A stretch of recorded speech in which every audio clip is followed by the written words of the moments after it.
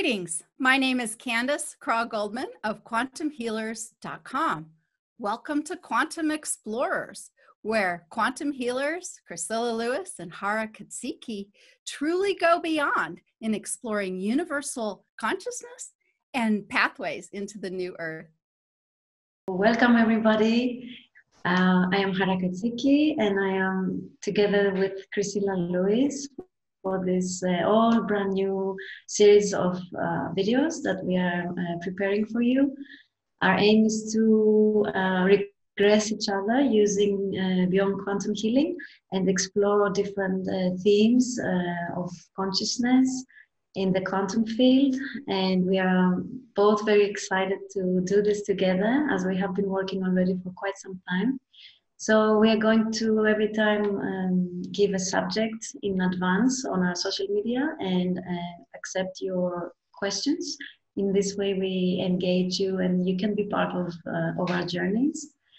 For this episode, which is our first one, our theme is uh, connecting with the Galactic Federation of Light and uh, ask questions regarding the current situation on Earth, and um, their level of interference interference. Do they interfere? How much do they interfere? And everything around that. So thank you, thank you everybody for being with us. And uh, thank you Chrysilla for doing this with me. I'm so excited. And we'll see you on the other side. I invite my Ra's guides angels cosmic and soul family and Hara from the future as an ascended master to join us today. Also, I invite my own guides, angels, cosmic and soul family, and myself from the future as an ascended master to assist and participate in Hara's journey and find yourself amidst the space so vast, with colors so clear and so unique that they are yours and yours alone. I am in a council already. Okay, thank you for letting me know. I see around or like an I see an oval um, table tabletop. Um, it's uh, it's uh, floating. There are no legs supporting it. Um, it's kind of glass. It's like a transparent glass, um, and it's also it's a glass, but you can also use it as a computer. And there are several beings around, all around the table. Um, uh, they say that we have entered the in one of the main councils of the Galactic Federation of Lights. There are 73 representatives um, at this moment, and they welcome us. Thank you. Is it 73 groups within the Federation of Light? No, there are currently 73 representatives. Okay. There are many more, but at the moment there are 73 who are more closely involved with the, with the Earth. And tell me how many people are sitting around this table right now? 73. Wow.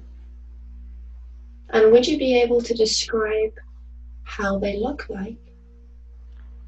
Uh, they all represent a different race, so there are many different kinds of being. It's a it's beautiful to watch because there are so many different kinds of beings from humanoids to insectoids um, uh, cat-like beings amphibians and many others. It's a, it's a big range of variety. It's a big variety of, beings. And do you think that they would welcome you to ask questions today or to give you some information with regards to what's happening onto the planet? Yes, they are willing to answer questions. So, what do they feel is currently happening within the human collective? At the moment, they are discussing who is going to answer the question. And um, the one who is going to answer the question is um, is Ian.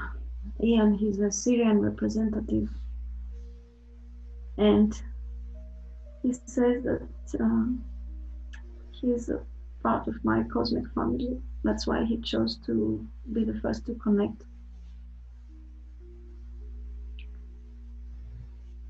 He's um, he looks like a human. He's he's wearing a silver suit, tight suit, um, and he makes a something with his hands um, as a salutation. Can you do it? Could you mimic that? Ah, okay, thank you. Is that how he's greeting you? Yes, this is a Sirian greeting. Well, greetings, Ian. Mhm. How may we serve you? Well, we are wondering what is the Galactic Federation of Light doing, or how are you currently influencing the planet with regards to how our free will is currently being interfered with? As we are the only planet of free will and choice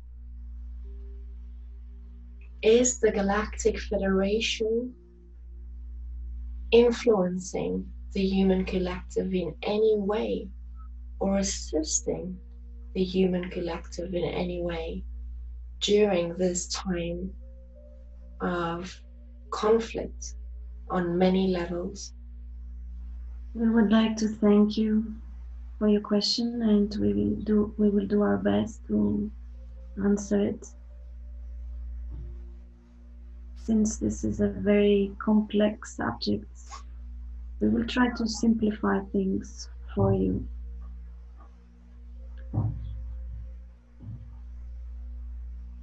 We are a group of races much more advanced than the earthlings as we as you perceive time. And our main aim is to watch observe study and be part of the development of the life in our galaxy. Regarding your planets, there are many levels in which you can perceive reality.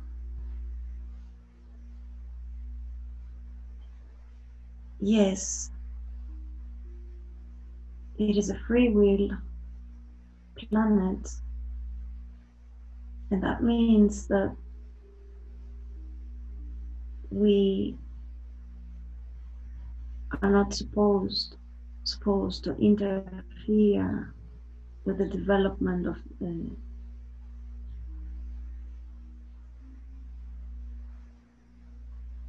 of, of life.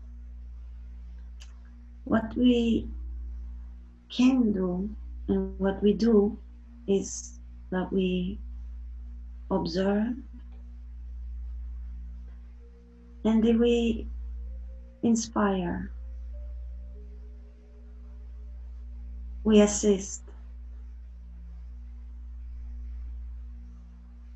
and we do so by, by the thousands of um, ground crew that we have sent throughout the millennia through which we can assist you with. So it's as if we have to change from the inside, inside the planet, inside ourselves, to make the difference we want to see in the world. Yes, it is always an inside job.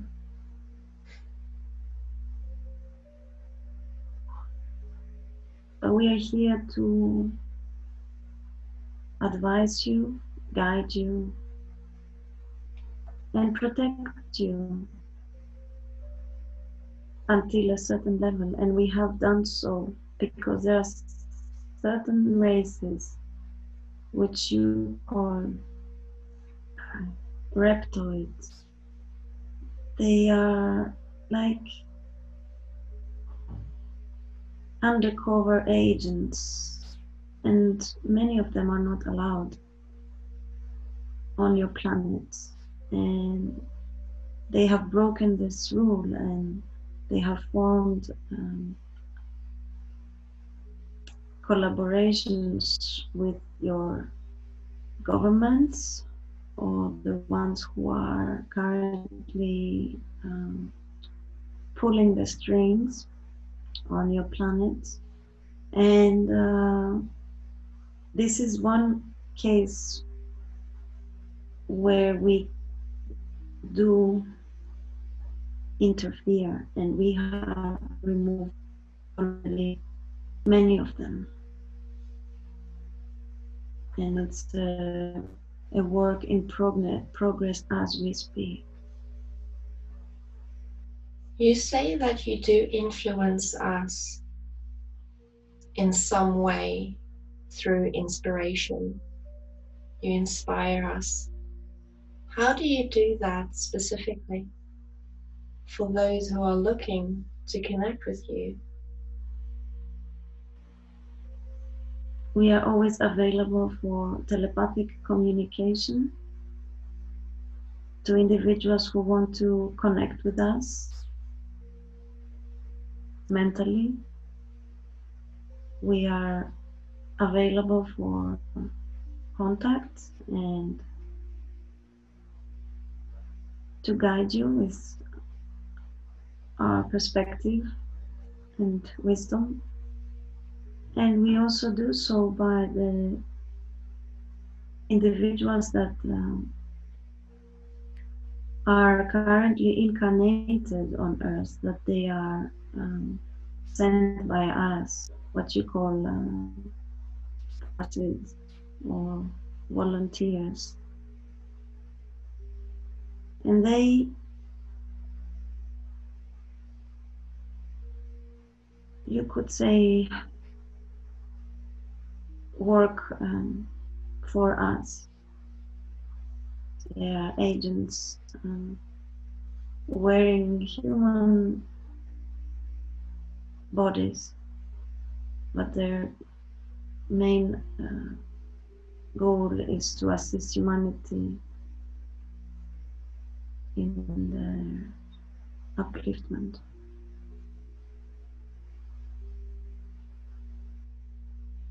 did these agents of yours also pass through the veil of forgetfulness?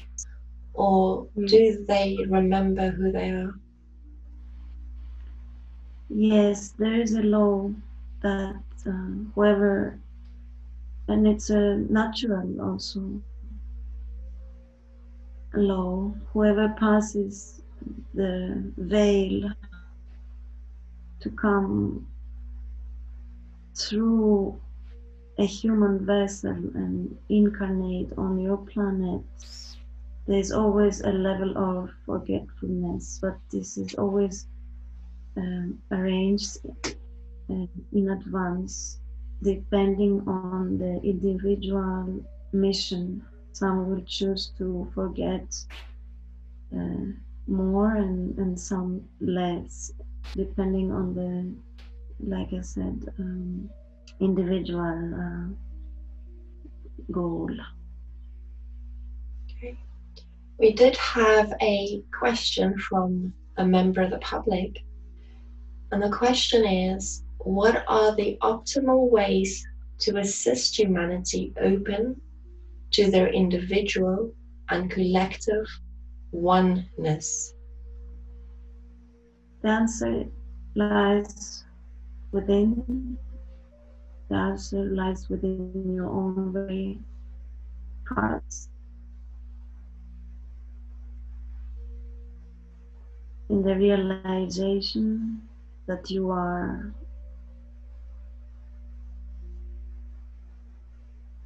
creators, co creators, taking your power back, remembering who you truly are. accepting life and wonders, realizing that um, everything outside of you is a reflection of your inner world, connecting with your fellow human beings in love, in acceptance, in compassion, in gratitude, in appreciation. Remembering that you are all unique going through your own special individual journeys.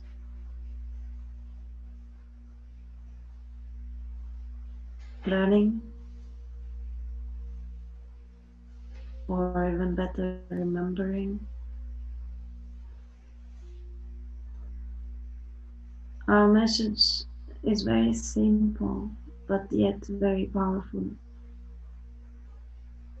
and profound once you slowly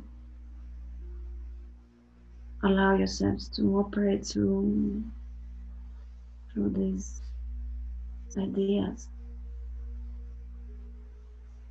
and one thing that we need to shed some light on and, and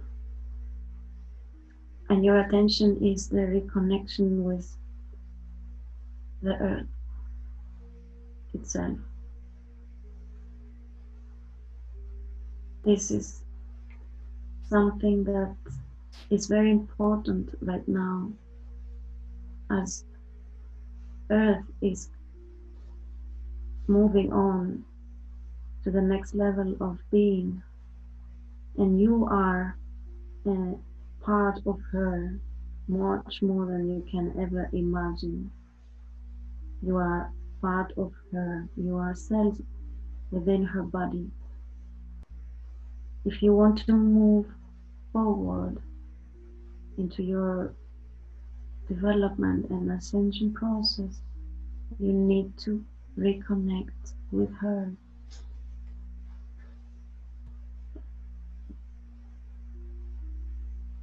You can do this by simply being in nature physically. You can also do it mentally if you are in a confined room. But uh, we would like to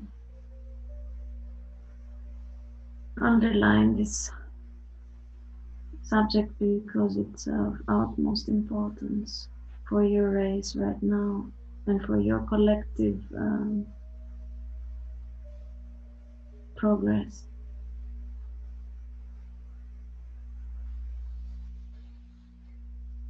I'm getting this visualization. Earlier, you said it's an inside job. And it's as if I'm seeing all the human beings on the planet right now almost being the cells. And it's these cells within the planet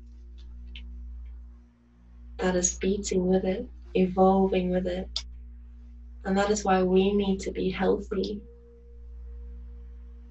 in the progression of her ascension. Absolutely. And that's why you have to come together and work together and put down your shields and your arrows and love each other. Open your hearts with loving compassion and embrace your fellow brothers and sisters. In this way, you will become stronger and you will connect with each other and connect with the planet and live in oneness and in peace.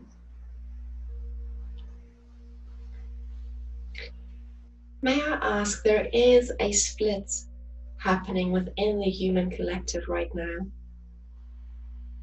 What is happening within the split, and will it result into different timelines? Again, it's a, it's a very complex subject but we will try to simplify it. There are numerous timelines and numerous endless possibilities of realities and universes and experiences and so forth, so forth, so on. But uh, in order to simplify things, uh, looking at at your planet right now, it's simply that several individuals are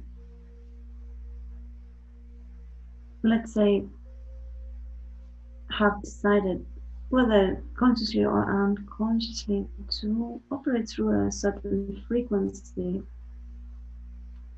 every frequency or vibration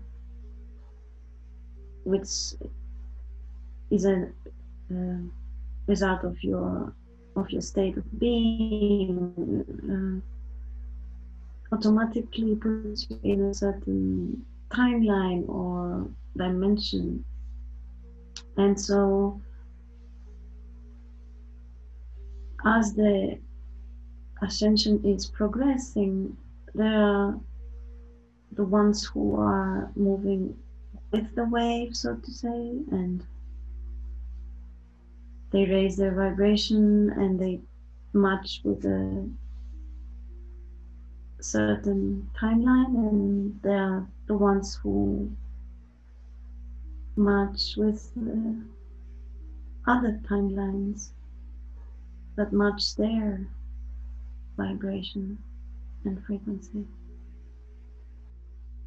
It does take time to wrap your head around the complexity of endless possibilities.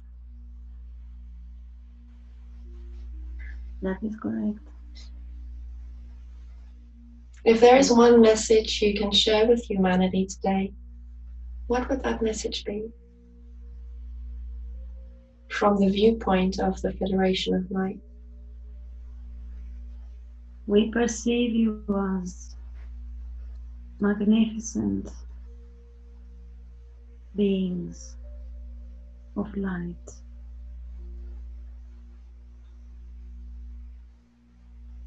With enormous potential for growth and we would like to thank you for your for your work for your willingness, for your service, and for always doing your best. We recognize that. And uh, and so we we would like to congratulate you for your hard work. You are all heroes. And we are always here to assist you. May I ask, have you connected with Hara in any way before? Not consciously for her. This is the first time um, I decided to connect with her in a, let's say, more conscious level. But uh, as I said in the beginning, um, we are family and we have, um, let's say, been together in the Sirius star system. But it's the first time that um, I appear to her and connect with her in this level. Beautiful. Is there a sign you'd like to give Hara today or a feeling within her body to know that you are connecting with her at any time? She has been feeling it already from the beginning. Good. It's a sensation that she cannot describe, but is very uh, distinctive, and uh, Mm. This would this is my energetic signature through which she will be able to recognize me if she so wishes to connect with me in the future. May I ask, is the Sirius star system or the Sirius beings connected to birds in any way? Birds on, on this planet? Birds? Birds, yeah. Yes, there are several of your animals that um, have Sirian DNA, and birds are one of them. Thank you. You're welcome. Thank you very much for the opportunity to connect with you today. Will the Federation be okay if we connect with you again in the future? It would be an honor. Thanks, Ian. If you could take a step back now, with love and thanks for all the information you gave us today. Welcome back, Hara. How was your journey? It was intense. Um, it was um, energetically intense. Um, I was from the induction already kind of floating um, in this, um, I don't know, space with clouds, and I could already sense there was I was approaching this council, and then. Uh, as I went closer, I, I started to feel it energetically. I, I felt the shift of the energy from the physical on this dimension to to to that place. Um, yeah, it was very strong, especially when I started to speak. Mm. When I connected with the uh, with all of them, it was very strong because I could feel it in my body, um, like electricity running throughout my whole body, and my heart expanding, and Yeah. yeah, What was fascinating, as soon as you started connecting, something amazing happened just outside my window because I'm facing the window. And four birds, blackbirds, stopped right outside the window and they were looking at me and I was like, what is going on? um, Wow. and that's why I asked the question about the birds because I was I was feeling the energy. I could feel the connection we we had and you had. And when the birds came, that was just a massive sign. Like they could feel the energy and they were like, where is this coming from? And they were curious and they were drawn to it.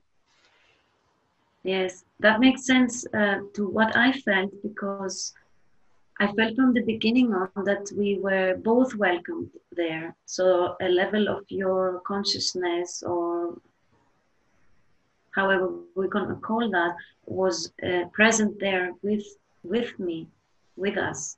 Yes. Yeah. Yeah, I So was that- there. that- yeah, that made sense. That uh, that was like a a physical uh, sign from them that uh, you are with us. And what's amazing as well is, you know, as you were going through the scenes, it's as if they were connecting with me in a way of putting images in my mind, like visualizations. And that's why I was able to see all these um, different perspectives with regards to, for example, when you said everything is happening from the inside out. You know, they were kind of showing me the earth being a human body, you know, and we are everything with inside of it operating. And if there's no harmony, there's going to be disharmony. And with disharmony, there's disease. And, you know, and they were like explaining all this to me as well as talking to you simultaneously. Mm, mm, mm. Yeah, and it makes so much sense, right? Um, yeah, I in in in in this session I really felt the, m- maybe more deeply than before because of course we've heard it so many times. It's even something quite banal. Yes, love each other, blah blah. But I I felt it deeply this time, much more deeply. The Mm. importance of really connecting with each other in love Yeah. And I want to say something more on the on what we were saying about before, and because as you were speaking, I remember this what happened during the induction, the BQH induction um, that you did, where we ask our energies to uh, merge and connect and amplify in our guides and all this. And I, I had this image of of um, both our teams in a, in a circle and then you and me and i saw us merging so that uh, that was yeah makes sense because then after you you were with me Mm. Goosebumps. Beautiful. yeah yeah Well, I would like to thank you for doing this with me, and I'd like to thank everyone watching. I hope that you were able to take something away from the session today, and hopefully, we are going to have many, many more of these amazing sessions to bring to you. And I'll just leave over to Hara. I don't know how sleepy you are or orientated you are. Is there something you'd like to say before we say goodbye? I just want to say thank you everybody for watching and i hope it serves you well we love you.